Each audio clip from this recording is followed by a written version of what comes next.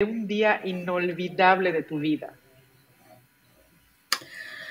Uy, un día inolvidable de mi vida. No sé, creo que hay muchos, pero... Oh, ok, quizá un, un día inolvidable de mi vida fue la vez que pude invitar a toda mi familia a un viaje.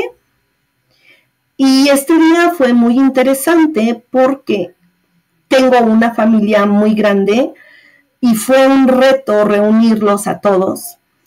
Y primero viajamos, yo renté una casa en un lugar en Morelos, México, que se llama Tequesquitengo, y viajamos en la mayor parte de la familia viajó junta desde muy temprano. Otras personas eh, de mi familia viven en otros lugares y nos encontramos en aquel lugar. Pero el día comenzó antes de las 7 de la mañana. Preparamos todo lo necesario para el viaje. Esperamos al chofer que nos llevaría. Em, aseguramos la casa, las mascotas, porque yo tengo una mascota, una gatita, y en ese tiempo teníamos ya una perra grandanés que es hermosa y se llama Lua. y entonces salimos y fue un viaje muy divertido con mis hermanas, mis sobrinos pequeños. Y cuando llegamos al lugar, eh, los niños estaban emocionados porque había una laguna muy grande. Eh, llegamos a una casa muy grande también, con muchísimas habitaciones, con alberca, etcétera. Y fue emocionante cuando todos comenzaron a llegar. Y finalmente nos reunimos, eh, los niños, a, los niños les da gusto cuando ven a sus demás primos y era Navidad, entonces cenamos todos juntos, nos divertimos y pasamos un buen momento, creo yo, todos en familia y ese podría ser uno de los días inolvidables de mi vida. Hermoso. ¿Qué hiciste el fin de semana pasado? El fin de semana pasado em, llevé a mi mamá a la terminal de autobuses porque ella viajó para visitar a una hermana que está enferma. Entonces, el fin de semana yo la llevé a la terminal, después tuve algunas clases y después fui al departamento donde vivo, que no es este, y estuve allá preparando algunas clases, tuve clases por la tarde eh, y fue un día muy normal para mí. El sábado y el domingo no salí, estuve en casa. Estoy preparando a tres alumnos para el examen de certificación DELE. Y entre semana había suspendido varias clases por una situación familiar y el fin de semana tuve que trabajar para reponer esas clases. Sí. Ok. Vuélveme a decir cómo eres tú. Ok. Pues yo soy una persona eh, bajita. En México decimos chaparrita eh, soy morena, tengo piel morena, mi pelo es castaño, tengo el pelo rizado y muy largo ahora. Tengo ojos café oscuro, tengo los labios normales, creo yo, una nariz ni muy grande ni muy pequeña, un poco gordita. En México a las personas eh, no les decimos gordas porque suena ofensivo, entonces usamos diminutivos y es preferible decir gordita a decir gorda. Y entonces soy gordita. En México también decimos soy llenita o estoy llenita, como un sinónimo de gorda. Em, sobrepeso. Sí, de tener también podemos decir. de sobrepeso. Sí, tenemos sobrepeso, sí, claro. Y em, soy una persona ah, alegre. Cuando es necesario, soy un poco seria. Em, me gusta mucho estar con mi familia, bailar, enseñar. Me gusta leer.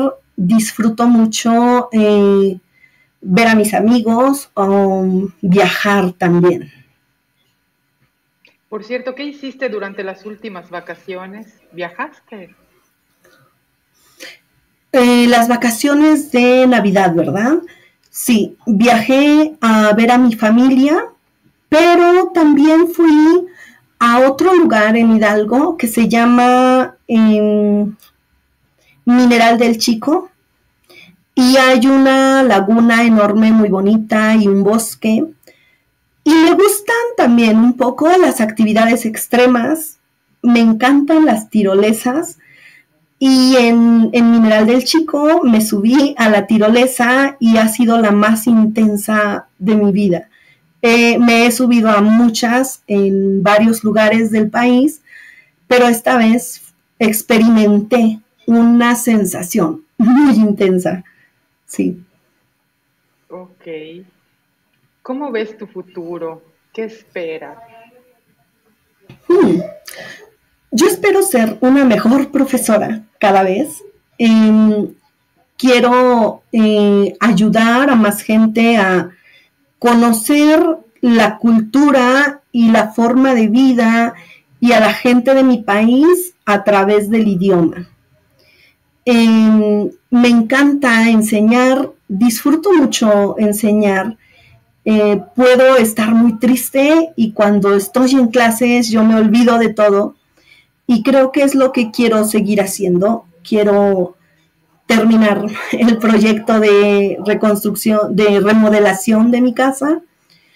Y sí, me, encantaría también viajar a otros lugares en el extranjero, conocer más culturas, eh, conocer gente y tener más conocimiento en general. Así veo mi vida en el futuro. Ok. ¿Qué, significa la amistad para ti? Hmm. No sé si alguien lo dijo, creo que sí. No sé quién, seguramente mucha gente, pero sin un amigo es imposible vivir. Eh, creo, obviamente tenemos a la familia, mucha gente puede tener pareja, pero la amistad creo que es lo que sostiene a la humanidad. Si no tenemos buenos amigos, la vida sería mucho más difícil. Ok. Cuéntame cómo son las fiestas en tu comunidad. Uy. Ah, las fiestas en mi comunidad depende de qué, de cuál sea el evento. ¿sí? Es diferente una fiesta de cumpleaños a una boda, por ejemplo. Una fiesta de cumpleaños generalmente no es una fiesta tan grande. Invitas a algunos amigos, a los más cercanos, a tu familia y dura unas cuantas horas. Depende de la familia, depende de tu personalidad, pero en mi, en mi pueblo, por ejemplo, la gente acostumbra hacer ese día una comida especial. Siempre debe haber un pastel y se cantan las mañanitas, que es la canción de los cumpleaños en México. Si es un cumpleaños de niños, generalmente hay piñatas aunque ahora también en cumpleaños de adultos podría haber una piñata, la piñata es un elemento de las fiestas muy importante en México. Eh, y en México la gente acostumbra bailar mucho en cualquier fiesta y en la mayoría se toma mucho alcohol también. si es una boda, la fiesta es mucho más, eh, podríamos decir, mucho más compleja. Ok, en el apartado de avanzados vamos a retomar lo de las fiestas y ahí ah, vas a explicar cómo es la boda, cómo se acostumbra en México, quién la paga, por qué, cuánto dura, ah, el arte el recalentado, ¿va? Okay, okay. Entonces voy a pasar de las de intermedio a la siguiente, a la siguiente pregunta, que es... ¿Es intermedio todavía? Sobre, todavía estamos en intermedio. Oh, ok, ok. Eh, sobre la cultura, porque esta es corta de tiempo, nos vamos a tardar. No, no, no, no, no, no, no hay problema. Ajá, sí. Ah, vale. Sí, solo, quiero saber. la cultura. Ok, México es un país muy cultural. Eh, México es un país muy grande y muy diverso. Entonces, hay muchas manifestaciones culturales dependiendo del lugar donde vivas. Em, para los mexicanos, eh, la cultura es algo que ha permanecido en toda la historia, es una cultura, como dije ya, diversa, pero también tenemos influencia de otras culturas.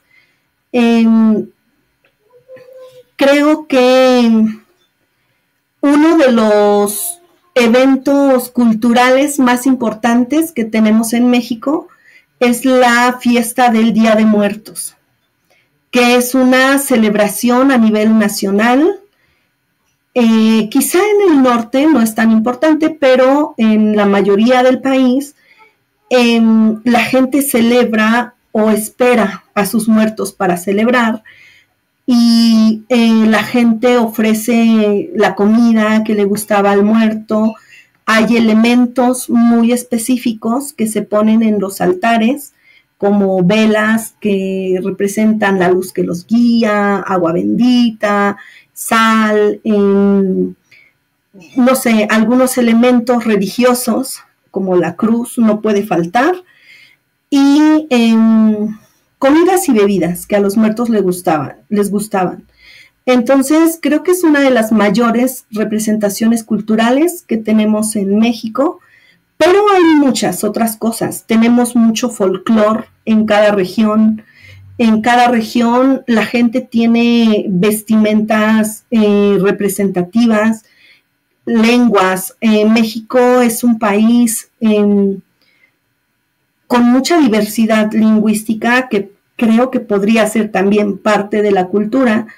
Hay 68 lenguas vivas en este momento en México y em, hay muchos bailes, eh, hay eh, Mm, una forma de celebrar las fiestas también en cada región. Por ejemplo, hay regiones en donde las bodas son un gran acontecimiento. Y hay mucha, eh, muchas otras manifestaciones artísticas también. Tenemos poetas, tenemos escritores, tenemos músicos muy importantes, tenemos eh, mucha eh, literatura y todo esto hace a México un país culturalmente muy rico. Háblame un poco más sobre el arte en México. Ok, el arte ha tenido una historia muy interesante desde las culturas prehispánicas hasta la actualidad. Em, ha habido movimientos eh, artísticos muy importantes. Ah, eh, tenemos, hemos tenido a lo largo de la historia artistas muy importantes. Creo que uno de los movimientos más representativos de México quizá fue el muralismo. Frida Kahlo eh, no forma parte de, este movimiento, pero Diego Rivera, que fue la pareja de Frida Kahlo, ambos son muy reconocidos a, nivel mundial eh, pero, por ejemplo, Diego Rivera fue uno de los máximos representantes del muralismo en México, junto con algunos otros eh, como Tamayo, Siqueiros. Y varios de nuestros escritores, por ejemplo, eh, formaron parte del boom de la, de la literatura eh, latinoamericana.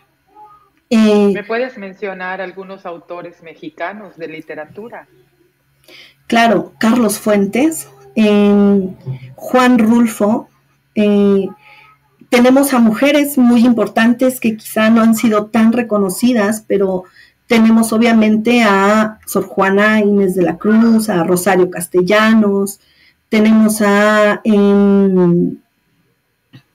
olvidé el nombre de la ex esposa de Octavio Paz, tenemos a Octavio Paz, que fue el único Nobel eh, de literatura que tenemos hasta este momento. Y podría mencionar muchos más, ¿no? Pero eh, Creo que es, en las personas que mencioné quizás son como las más famosas, pero en la actualidad tenemos a muchos literatos, tenemos artistas, tenemos pintores, escultores, eh, y hay una gran riqueza artística. Ok, platícame algo ahora sobre el tema de la salud. Ok, la salud es un tema fundamental, pero creo que en México em, estamos apenas en camino de tener eh, una cultura de la salud que sea una cultura correcta. Eh, creo que nuestra comida, en México tenemos una de las gastronomías más ricas y más diversas del mundo, pero creo que muchas veces esto perjudica un poco el área de la salud, porque la comida en México, como dije antes, es muy grasosa, muy picante o picosa, es muy dulce y obviamente eso eh, muchas veces no es algo que podamos controlar y nuestros hábitos en general, creo, no son muy buenos y por eso México es uno de los países con mayor obesidad en el mundo. Entonces, eso representa un problema serio de salud, pero creo que hay muchos esfuerzos por mejorar eh, los hábitos que nos pueden eh, dar una buena salud y también tenemos un sistema de salud que quizá no ha, no mm, funcionado de la mejor manera, pero se está haciendo muchos esfuerzos por lograr que toda la gente tenga acceso a un sistema de salud que muchas veces tiene muchas carencias, pero creo que estamos en camino de mejorar este, en este tema. ¿Qué consideras tú que es la principal actividad de ocio en tu país? creo que en este momento el uso de dispositivos electrónicos. Em, la mayoría de la gente eh, que yo conozco eh, en los últimos años y más con la pandemia, cada vez realiza menos actividades al aire libre, por ejemplo, o cada vez la gente sale menos de su casa por estar viendo una serie, una película, por jugar videojuegos. No sé, estadísticamente, no sé, pero, probablemente eso podría ser pero la gente también eh, va mucho a, ver el fútbol, por ejemplo.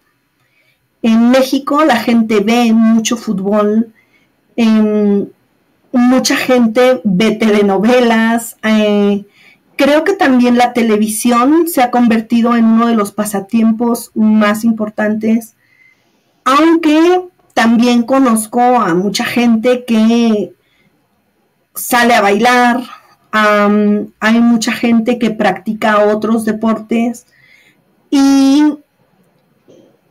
yo conozco a mucha gente que, que lee mucho, que tiene em, pasatiempos que están relacionados con el arte, con la cultura, pero para mí, tristemente, esto pues no representa un gran número de personas, ¿no? Okay. ¿Cómo está el empleo actualmente en México? El empleo ha tenido un, una evolución interesante. Creo que el tema del empleo no ha sido constante si hablamos de estadísticas, pero creo que en, en, este momento, a causa de la pandemia, mucha gente perdió sus empleos. Hay muchos desempleados ahora, pero creo también que en la actualidad la gente que no tiene un empleo formal reconocido oficialmente por el gobierno, busca maneras alternas de generar recursos, de obtener ingresos. Hay mucha gente que, no tiene trabajo, pero se autoemplea o quizá en este momento la gente está emprendiendo cada vez más. Pero definitivamente el empleo siempre ha sido un tema bastante doloroso en el país porque desde hace mucho tiempo em, se han modificado las leyes laborales. La ley laboral en México los últimos años ha tenido varias modificaciones que han afectado a los trabajadores y eso provoca que este problema se agrave. En este momento se está haciendo también un esfuerzo muy grande por generar empleos. Eh, después de la pandemia está eh, habiendo una regeneración de empleos, pero creo que no es suficiente.